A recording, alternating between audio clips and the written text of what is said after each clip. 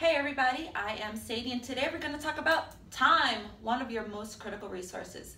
We have already covered some real formal lessons beginning a business. Today we're going to change up things a little bit because I want to talk about one of your most precious resources, time.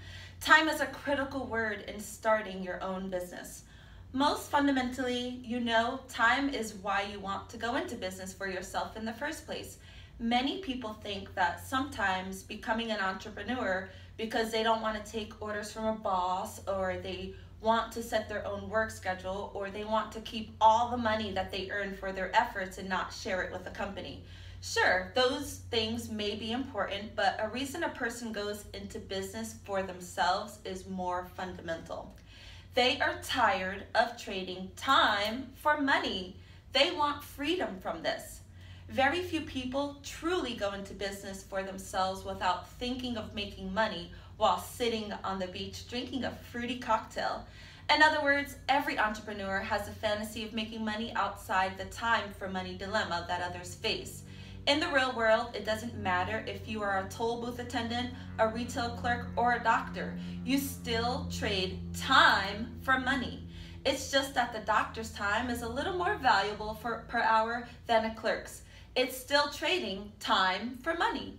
Let me tell you as you begin your journey as an entrepreneur, whether it is that to own a global conglomerate like myself or perhaps to be a DJ and a music producer, whatever your goal, your most precious commodity is time. Time is the one thing that you cannot get back. You can only have a limited time on this earth to work and none of us know in advance how long this is, but we can be sure that every minute wasted is a minute that we cannot get back at the end.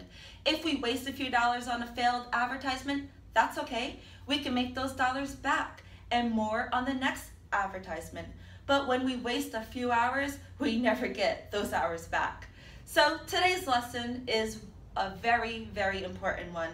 After you write down your goals and a plan, and after you decide that the time is now, the very first thing you must do is triage your own life without mercy. Do you know what the word triage means? I didn't when I started out. Triage is typically used in emergency medicine. What it refers to is completely non-emotional evaluation of critical situations. Let's say, for instance, there is a bus crash and 30 people are hurt. The first step is triage, evaluate each injury clinically, decide which ones are the most important to address immediately, which ones can wait until later, and which ones, unfortunately, are hopeless. When it comes to beginning a business, you must do the same thing with your normal life. In other words, you do what people call zero-based thinking. Get rid of everything that wastes your time. Apply the rule. When in doubt, throw it out.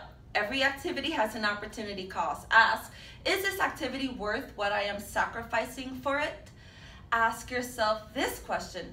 Would I have ever gotten started with this project, relationship, career, etc. if I had to do it all over again, knowing what I know now? If your answer is no, then get out as soon as possible. A lot of us know that people have always have a belief that say, always finish what you start. They spend years investing in a relationship or climbing ladders only to realize when they reach the top, the ladder was leaning against the wrong building. Well, in the business world, that is a limiting belief. You should work consistently on your goals, but you should also eliminate things that waste your time.